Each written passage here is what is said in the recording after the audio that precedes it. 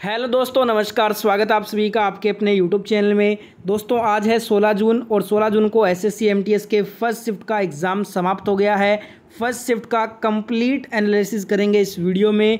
लगभग सारे रियल सवाल मेरे पास आ चुके हैं। उनके आंसर जानने के लिए वीडियो को पूरा लास्ट तक देखिएगा। और जिन्होंने भी अभी तक इस वीडियो को लाइक नहीं किया है तो जितने भी दोस्त वीडियो को देख रहे हो, एक साथ वीडियो को लाइक कर दो लाइक बटन को दबा दो एक साथ। और ज़्यादा से ज़्यादा सभी दोस्तों तक वीडियो को पहुँचाने के लिए ज़रूर शेयर कीजिएगा इस वीडियो को। चैनल पे फ़र्स्ट टाइम विज़िट कर रहे हैं, अभी तक आपने चैनल को नहीं सब्सक्राइब कर रखा है तो फटाफट से सब्सक्राइब करके बेल आइकन ऑन करके ऑल पे सेलेक्ट कर लीजिए रोज़ाना एसएससी एमटीएस का वीडियो देखने के लिए।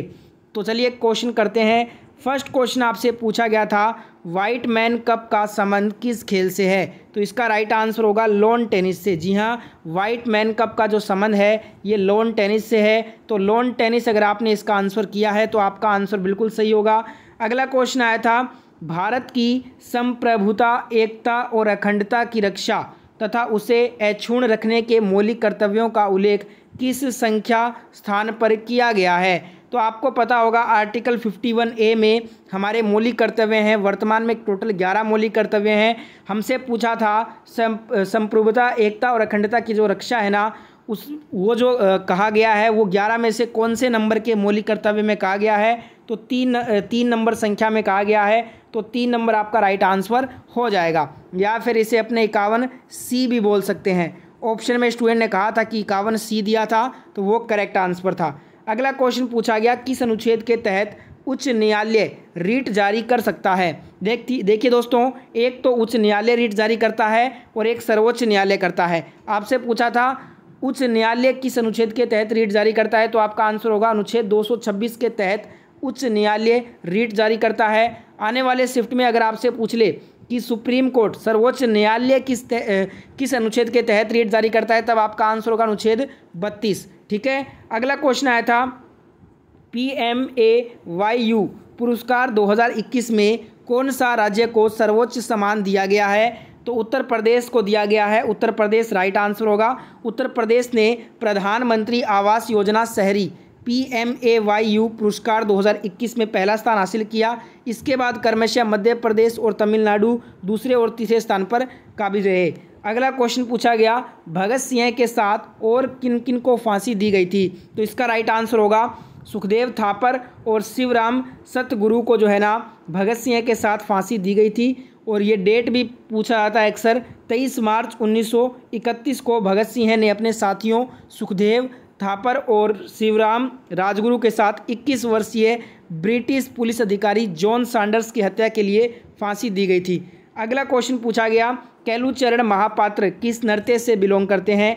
तो केलुचरण महापात्र जो है ना, ये ओडिसी नृत्य से संबंधित हैं। ओडिसी नृत्य राइट आंसर हो जाएगा इस क्वेश्चन का। अगला क्वेश्चन आया था 2001 में भारत रत्न किसे दिया गया था? 2001 में भारत रत्न उस्ताद बिस्मिल्ला खान को दिया गया था। ऑप्शन में उस्ताद बिस्मिल्ला खान भी था। और दोस्तों, कला के क्षेत्र में अगर पूछ लेना 2001 में भारत रत्न किसे मिला है कला के क्षेत्र में?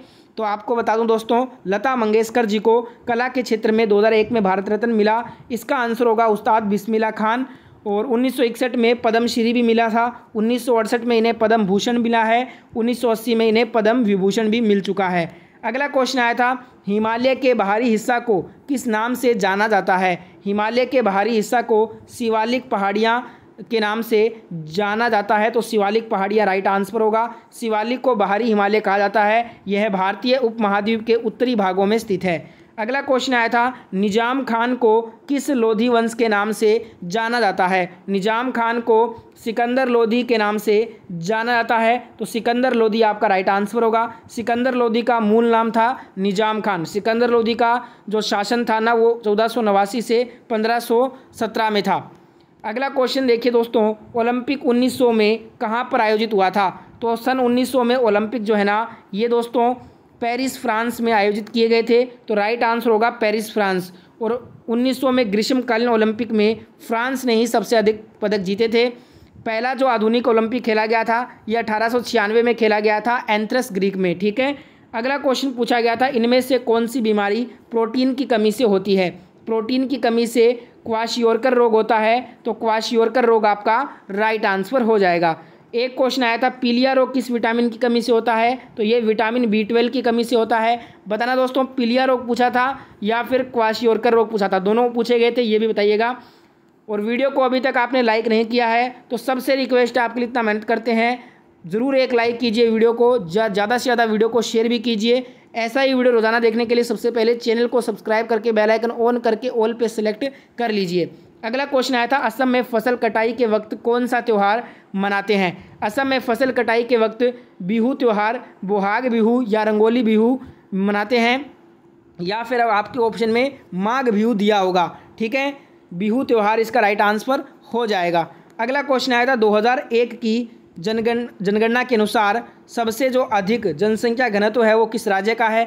कुछ स्टूडेंट कह रहे थे कि केंद्र शासित प्रदेश पूछा था 2011 की जनगणना के अनुसार सर्वाधिक जो जनसंख्या घनत्व वाला केंद्र शासित प्रदेश है वो कौन सा है? अगर आपसे यूटी पूछा है, तब तो आपका आंसर होगा, दिल्ली का सर्वाधिक जनसंख्या घनत्व है दो हज़ार ग्यारह जनगणना के अनुसार। अगर राज्य पूछा होगा तो बिहार आंसर होगा। बताइएगा दोस्तों, केंद्र शासित पूछा था या फिर आपसे पूछा था, राज्य? नेक्स्ट क्वेश्चन देख लेते हैं। अगले क्वेश्चन में आपसे पूछा है दोस्तों, देखिए। क्वेश्चन में ये पूछा है कि doctor B B R Ambedkar किस समुदाय से संबंध रखते थे? तो इसका राइट आंसर हो जाएगा, ये एक महार परिवार से संबंधित थे। तो महार जाति उस समय अछूत समझी जाती थी। तो महार परिवार आपका राइट आंसर हो जाएगा इस क्वेश्चन का। नेक्स्ट क्वेश्चन देख लेते हैं। अगले क्वेश्चन में पूछा है, फलों को पकाने के लिए किसका प्रयोग होता है? तो एथिलीन एथिलीन का प्रयोग होता है फलों को पकाने के लिए। अगर एथिलीन ऑप्शन में नहीं था तो एसिटिलीन भी ऑप्शन में हो सकता है। ठीक है, या तो एसीटिलीन दिया होगा या एथिलीन दिया होगा। अगला क्वेश्चन आया था, आरबीआई जो बैंकों को ऋण देता है, वह किस दर पर देता है? आरबीआई जो बैंकों को ऋण देता है ना, वो रिवर्स रेपो रेट पे देता है। तो रिवर्स रेपो रेट इसका आंसर हो जाएगा।